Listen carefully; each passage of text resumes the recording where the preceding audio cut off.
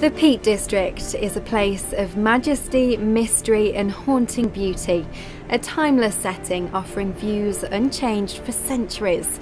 I'm teaming up with my brother Tim, a local archivist, to map archive material documenting real life events which would have made the headlines of their day onto this landscape.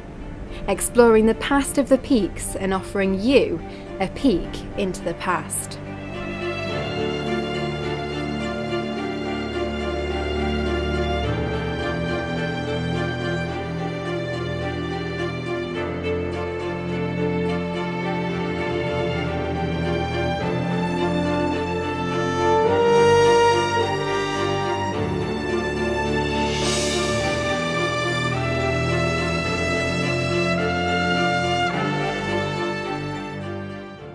An archivist, you're often given tantalising peeks into the past, transported back in time. An archive document can offer a sudden window onto the past. Every so often, you stumble upon a story, a story you unearth, a story you want to tell. On the morning of the 12th of October 1840, three young chimney sweeps set out from Tideswell on a journey across the southerly parts of the peak in search of work. It was a journey that was to have devastating consequences and would change their lives forever. And for one little boy, George Hadfield, it was to be the last journey he would ever take. I've sent Holly to Tideswell Church, the cathedral of the peak, to follow in the footsteps of that fateful trip. I'm here at the beautiful church of St John the Baptist in the ancient Derbyshire village of Tideswell, looking for clues about a young boy from the village who died here over 170 years ago. I'm about to meet local resident and former church warden Alan Thornton, who's going to show me around.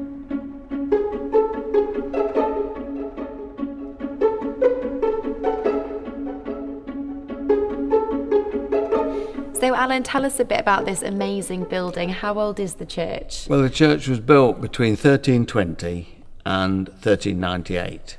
It was built by the Foljambe family, and John Foljambe's tomb is at the top end of the church. Also, we've got tombs to uh, Sir Sampson Meverell, who was a knight and soldier, and he fought at Agincourt and at Orleans against Joan of Arc. But I'm guessing that George Hadfield, the boy that I'm looking for, wasn't given a grand tomb inside the church.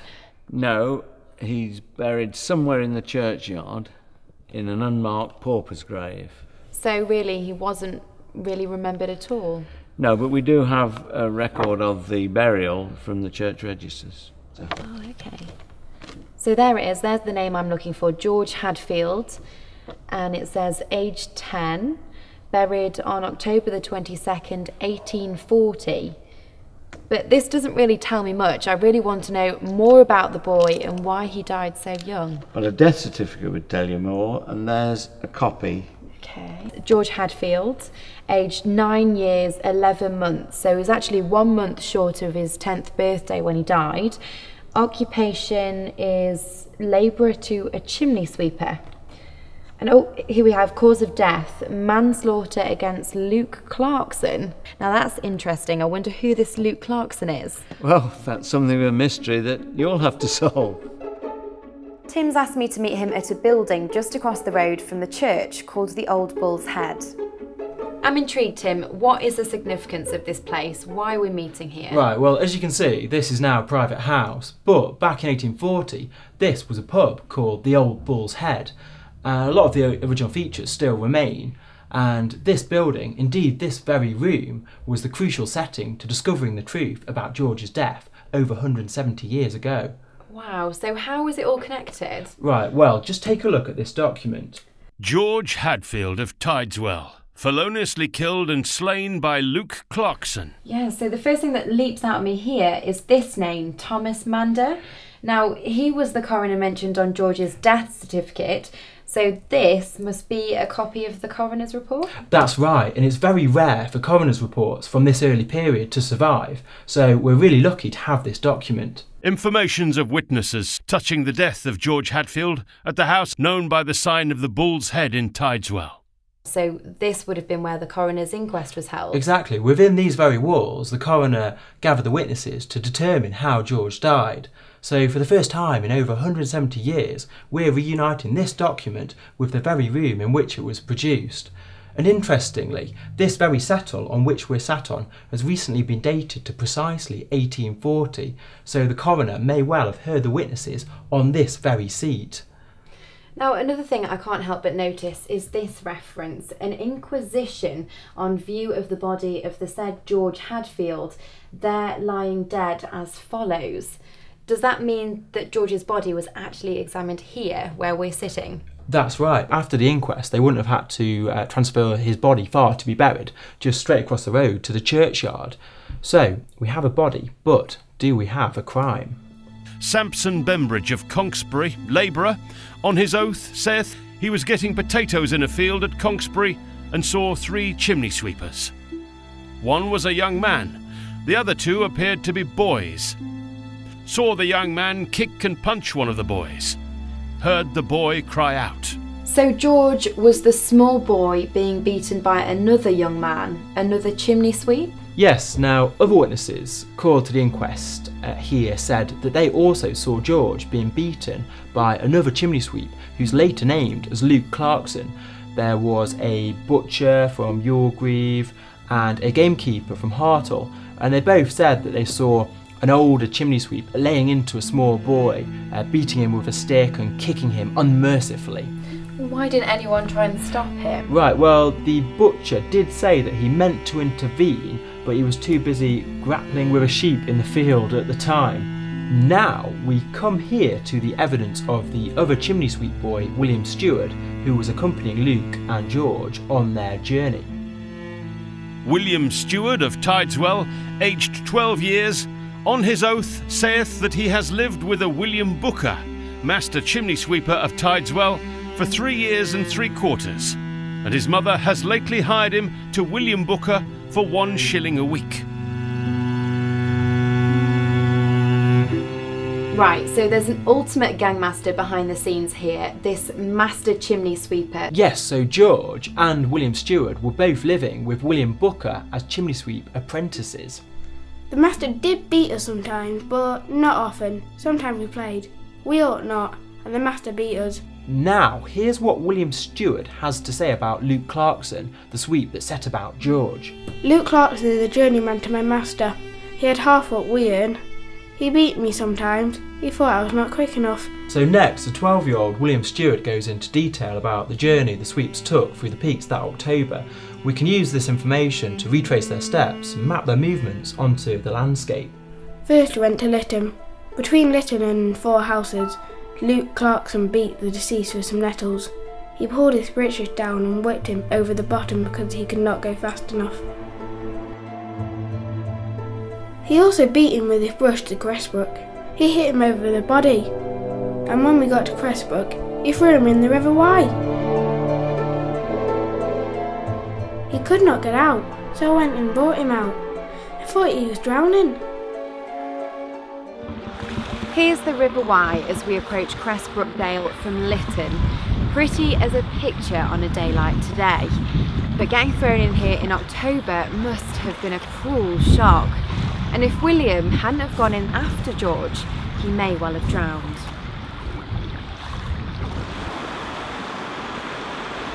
I can't help thinking about Charles Kingsley's classic children's story, The Water Babies, where Tom, the little ragamuffin sweep, is abused by the wicked master sweep Grimes. He ends up being chased across a field and then tumbles into a river where he drowns and becomes a water baby. He also beat him all the way to Holmes Public House at the top of the hill with his brush. Now, Holmes Public House was situated here up at Monsall Head, overlooking Monsall Dale. There's a pub here still, and this is one of the best known beauty spots in the peak. The views across the Wye Valley are breathtaking. Shooting across the bottom down there is the iconic 19th century viaduct, now part of the Monsall Trail across the River Wye. But this bridge wouldn't have been built when the chimney sweeps journeyed through this valley back in 1840. What a wild scene it must have been then. Just thinking about what happened to George is quite difficult to cope with. Did Luke ever stop laying into the poor little lad? How did George manage to carry on? On Wednesday, we afterwards went to Alport, and after beating him all the way, Luke Clarkson put George into the water again. The River Lathkill, bubbling up crystal clear from a limestone coral reef a few miles upstream, cascades through the village of Alport in a series of weirs. There's an old corn mill over there whose giant water wheel would have been grinding away when the chimney sweeps passed in 1840. This could well be the very spot where poor George was tossed into the water by Luke for a second time. It was 12 year old William Stewart who bravely rescued him, risking the wrath of Luke himself. It's such an idyllic spot, hard to imagine such cruelty taking place here. We then went to Youlgrave and stayed there all night, and then went to Calling Low.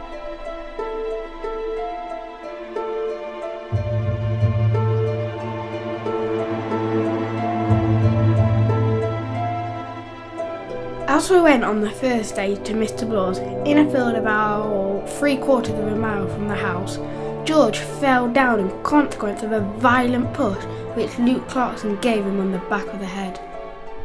George fell upon a heap of stones. Some women came and then saw a lump over his eye, and desired he might go to Mr. Blaw's.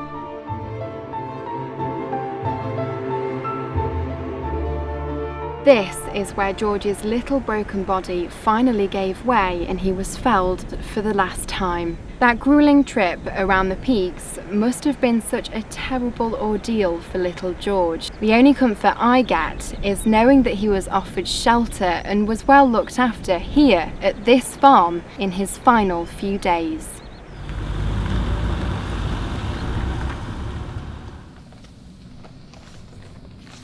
According to these inquest papers, the farmer, William Blaw, and his sister tried to give George food and drink and made up a bed of straw for him in these stables.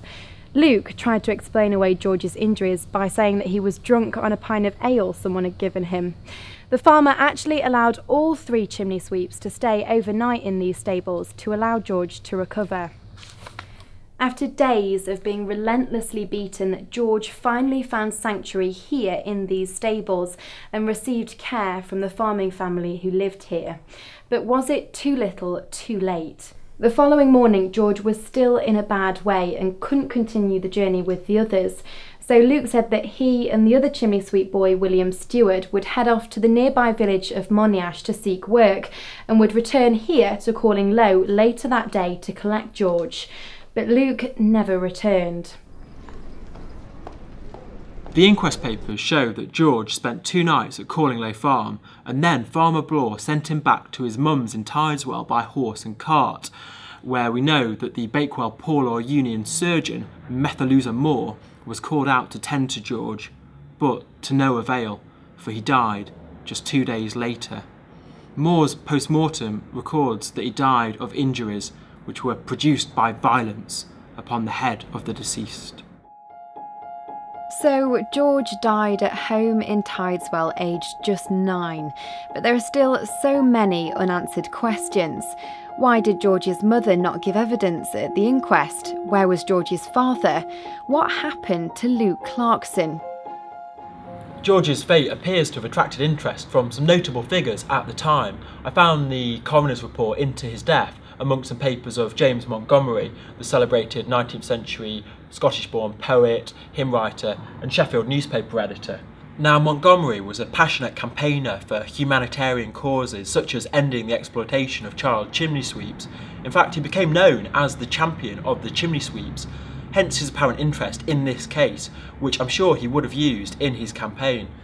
I've got here an interesting letter written to Montgomery from the secretary of the Society for Doing Away with the Use of Children in Sweeping Chimneys about a new bill they were trying to push through Parliament abolishing this practice of sending kids up chimneys.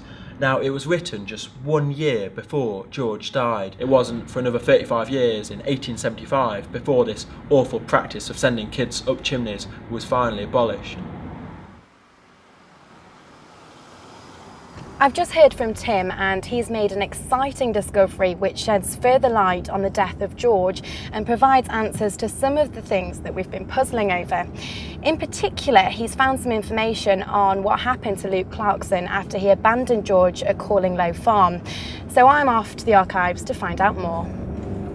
I came across this. It's the actual prosecution papers for the trial of Luke Clarkson. We find out George was the illegitimate son of a Betty Hadfield who's described as an idiot. The implication is she had learning difficulties, and with no husband to support her, it would have been down to George to go out to work as a chimney sweep at nine years old to keep his mum out of the workhouse.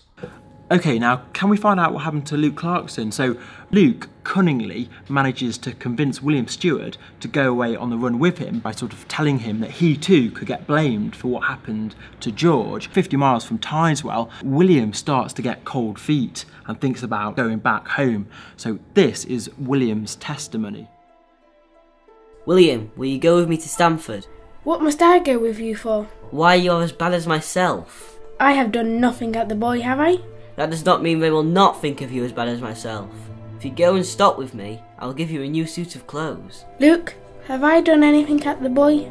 No. Well then, it will be my best way to go back again. And then finally, at the end, the prisoner offered to give him three fourths of their earnings if he would stop with him, but he refused, and the prisoner cried, and took witness's climbing cap off his head and kept it.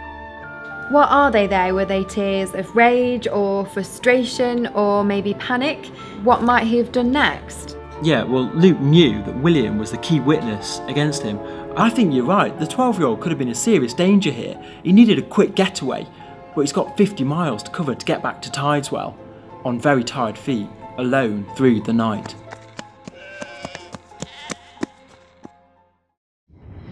Whilst William returned to Tideswell, the prosecution papers show that Luke continued on the run to Northamptonshire, where he was pursued by the authorities and arrested about a month later, almost 100 miles from the scene of the crime.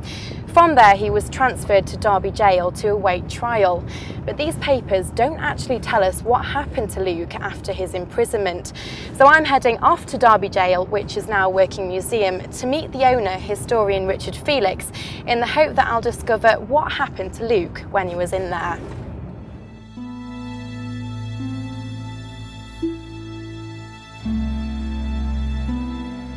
Richard, thank you very much for agreeing to show me around today. Pleasure. So, what would have conditions been like here in the 1800s? Oh, pretty rough in a place like this. Um, I mean, you'd be in this cell for probably 23 hours a day. Um, there were no toilets in, in, in the place in those days. Um, there would have been a bucket, straw on the floor. I mean, you had a bed, but I mean, uh, you were let out for one hour's exercise, and that was about it. Um, jail fever was still rife in those days. The walls, as you can see, were lime washed to try and kill the bugs, uh, and they were scraped every six months. Um, but people would have, would have died of, of jail fever in this place, and some of them probably gone bonkers as well, being shut in here for 23 hours a day alone. Can't imagine it. Terrible conditions. Would prisoners have been executed for their crimes whilst they were kept here? Oh, very much so. Yeah, yeah. This was the county jail. So any, any crime committed in Derbyshire, you ended up here. And of course, this would have been at the back of Luke's mind all the time. Um, he he'd taken a life, and that was punishable by his own life being taken.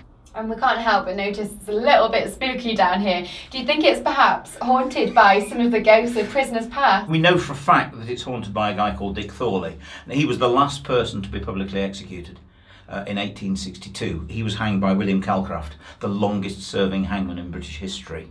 Uh, and Thorley's ghost still wanders uh, inside the jail area and actually walks through the door into the drop room.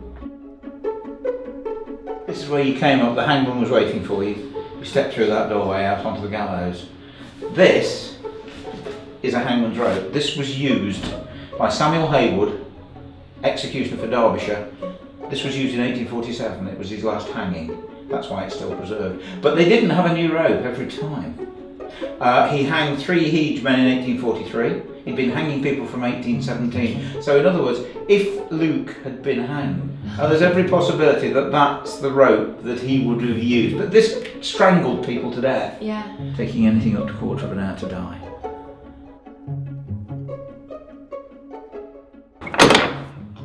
Fascinating thing is that these are all um, sentences of the prisoners. Can you imagine if he's he's on one of these 1840, 1842, 1840, 1841? Yep.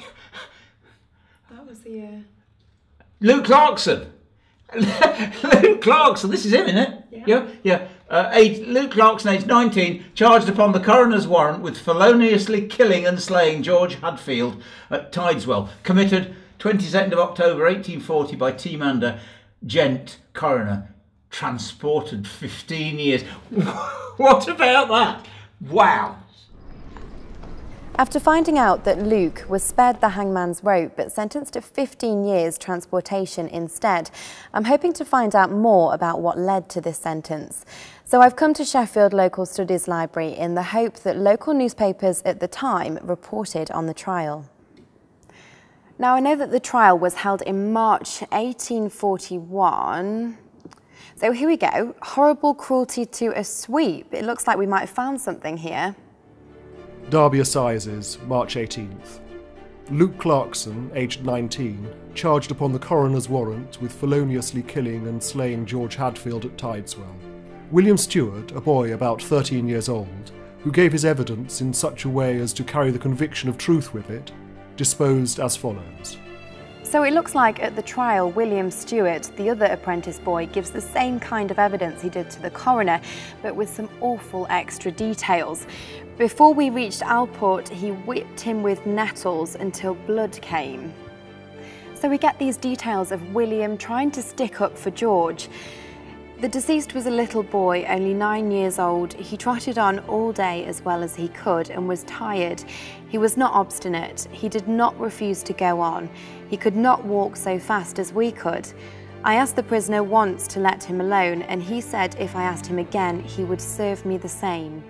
The prisoner, who had a very objectionable countenance, put the boy through a long cross examination with a view to show that he had treated the deceased kindly and that it was the witness, William, himself, who ill treated him.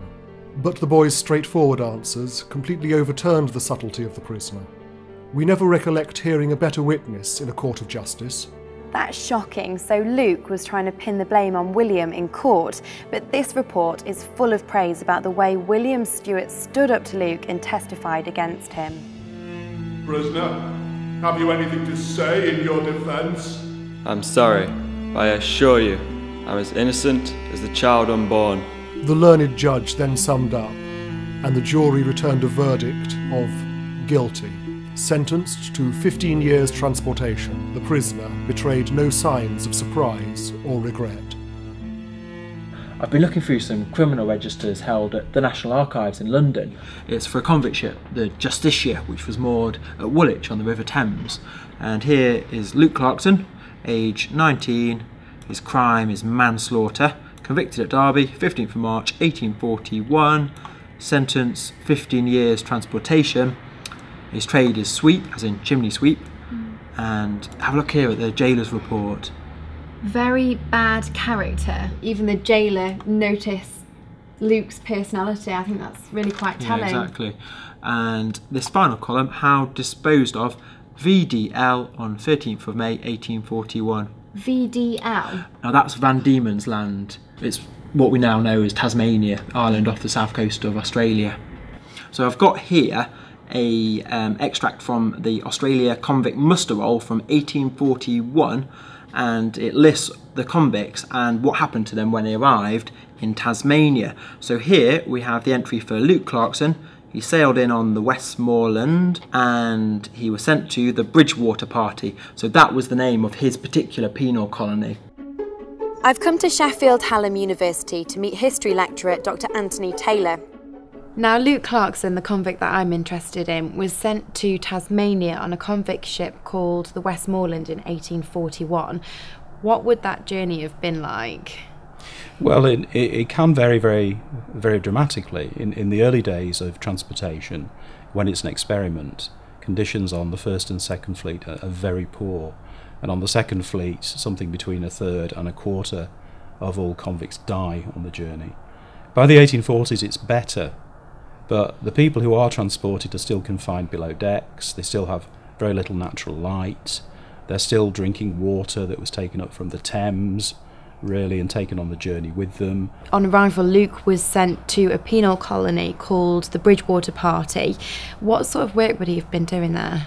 The Bridgewater Party would have been uh, an outlying station of Port Arthur outside Hobart, uh, and essentially criminals who were sent there worked on the road to create an infrastructure for the colony, building bridges, uh, building roads, uh, surfacing the road. It was hard physical labour. We have a representation of a criminal party here, and you'll see they're heavily shackled. Yeah, it would have been really grueling punishment for Luke. How would he have coped with that? Well, we, we have here his, his conduct record from Tasmania, uh, and it, it's clear that it, it's quite a, a full record of what happened to him in, in Tasmania. Yeah, so Uh, this is a conduct record that explains exactly how he behaved over there. Yes, I mean, we, we have here details of, of persistent reoffending. Uh, and, and we have here details of petty theft, petty petty larceny, it would have been called. This is really interesting. It says all about, describes him really well. His height, face shape, oval, Hmm. face much pock-pitted. So what does this bit here mean where it mentions 36 stripes? Uh, this is essentially a, a reference to a flogging, and essentially you will be whipped in, in multiples of 12, basically, uh, and it's more than simply being whipped with a whip. Uh, the whips involved have been specially strengthened in vinegar. They have brass inlays and they're, they're bound around with barbed wire. So they essentially take the, the skin off your back. It's, it's a kind of flaying in effect. The last record we, we have of him is effectively uh, cattle rustling in, in 1874 after the penal system has been dismantled. And this is 30 years after Luke was first sent to Tasmania. It seems that he just can't reform, he can't leave his life of crime behind him. Yes, we, we might might call him an incorrigible, actually, an incorrigible rogue.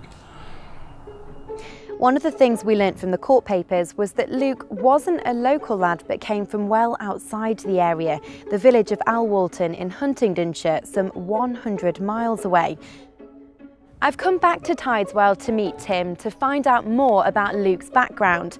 Tim's been doing some research down at Huntingdonshire Archives and has made some interesting discoveries. Okay, so I've got a couple of documents here to show you. So here we have Luke's baptism at Alwalton Church in January 1823. Okay, so we have Luke, son of John and Mary Clarkson from Alwalton, father's job labourer. So that sounds like a normal enough background. Well, it does, but have a look here at this document relating to the birth of Luke's younger brother Hodson in 1827. It's a affiliation order or bastardy bond, and this document was uh, was drawn up to identify the father of an illegitimate child. It's got some interesting details about the whereabouts of Luke's dad at this point in time. The examination of Mary Clarkson, wife of John Clarkson, under sentence of transportation for his life. So, like Luke, his dad was transported to the other side of the world. Do we know what for?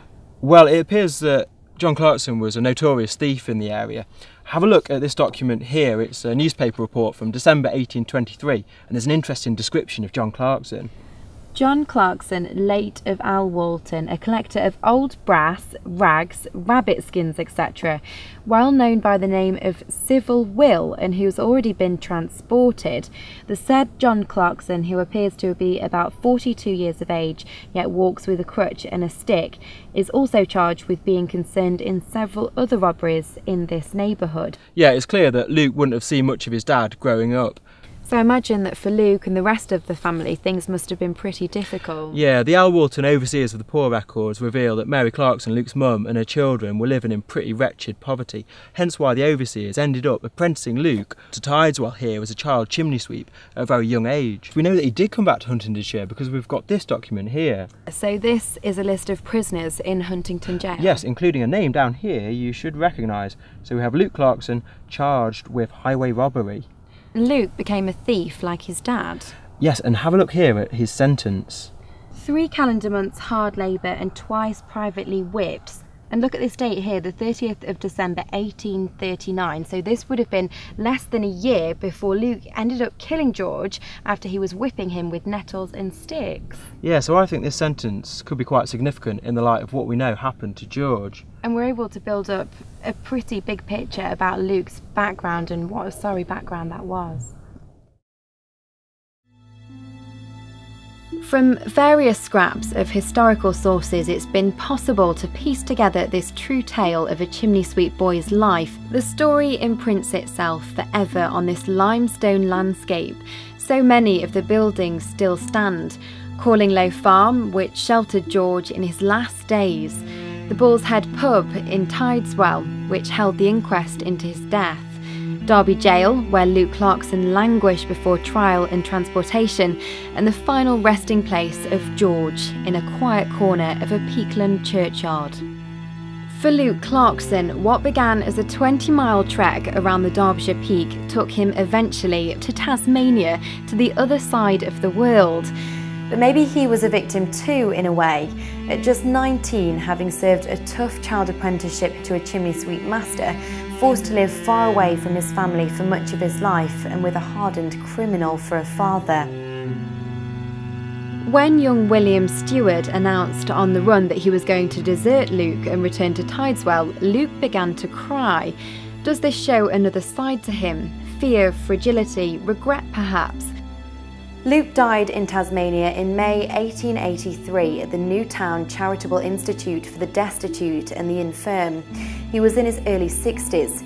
He left this world in the same state in which he'd entered it, in abject poverty, but he died a free man. William Stewart emerges as a real little hero in this piece. He rescued George twice from drowning. He stood up to Luke's bribing, blackmailing and intimidation he played a key role in securing Luke's conviction. Shortly after George's death, William left Tideswell for Stockport, where we've learnt his mum lived. His new life in Stockport remains a mystery as he disappears from the records. It would be nice to think that he escaped from the hardship of the life of a chimney sweep apprentice and returned to the comfort of his mother's arms. And as for George Hadfield, he ended up here at Tideswell Church, where he lies in illustrious company alongside knights and bishops who served at the right hand of kings.